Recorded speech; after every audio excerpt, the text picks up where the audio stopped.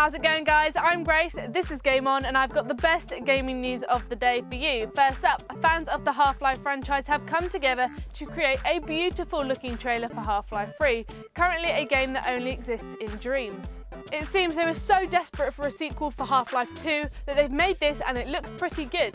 But as April Fool's Day looms, I guess we can prepare to see a lot more about Half-Life 3 as we always do.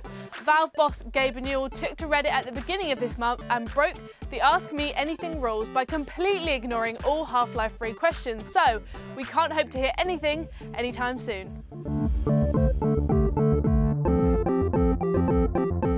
Next up, according to an interview with Edge, Ubisoft don't have any plans on giving up games development on the PS3 or Xbox 360 anytime soon.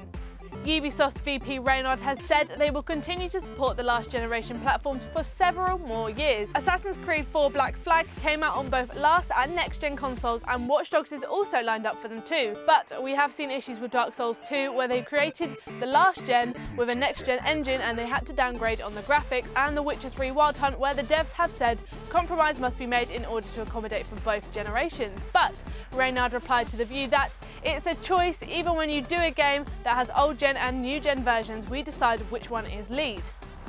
And finally, the huge success of Bravely Default has got the game's developers Square Enix rethinking the way they make their games, and this rethinking could affect the way the next Hitman title is created.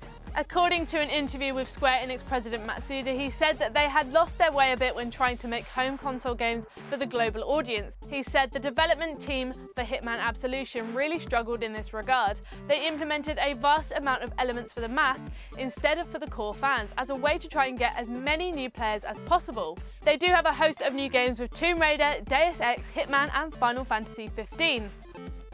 Thanks for watching Game On News. If you haven't played Infamous Second Son or Dark Souls 2 yet, we've got reviews for those over here and here, so check those out. I'm here every day from Monday to Friday. We've got a Child of Light preview coming out this week, so subscribe and I'll see you next time.